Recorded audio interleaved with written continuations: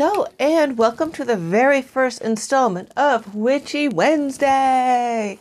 Um, I'm so glad that you are here. This is a new thing that I'm going to start doing every week, hopefully. Um, about a while ago, I got into witchcraft. Um, and then just last year, I found a great mentor who's like a really good source of information and inspiration. So, that made me want to improve my craft as well and share it with others. So this um this series will hopefully be weekly and provide like a ritual, a spell, a tradition, something like that to help to like educate people and share what I have learned and something that I have become passionate about. So this week we're getting into cord cutting. Um, we have energy fields, or as some people call them, auras. And our energy fields or auras can mesh or meld with those of the people around us. And sometimes it's good, sometimes it's not so good, especially if they're toxic, if they are ne'er do wells, you know, you don't want that because that'll just drag you down and you get uh, depression, anxiety. You're just not yourself when somebody has that kind of power over you, you know, over your energy. It just physically drains you. So, this is especially true in our relationships.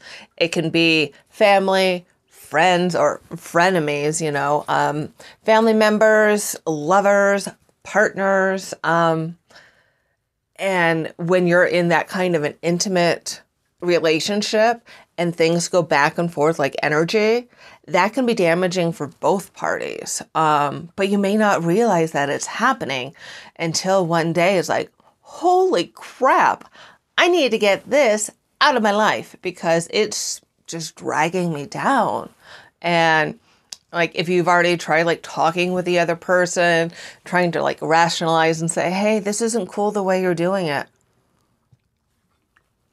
The way you're treating me, the way you're treating the kids, the way um, you, you did not give me a raise when I am clearly qualified, X, Y, and Z, or friends who don't have your best interest in mind. Um, you may want to think about just cutting that cord that and the cord symbolizes the power and the and the tie that somebody has to you.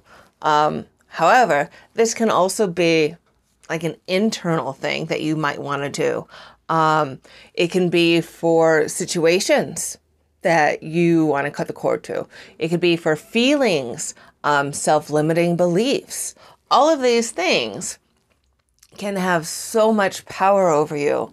And if you've already tried like rationalizing, like I said, or trying like other methods and it's just not working, why not give the cord cutting ritual a try?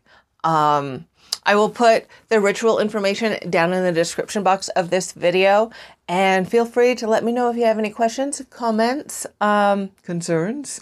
Remember, always do this safely and with the traditions of your beliefs. So, with that, enjoy, and I will see you in my next video.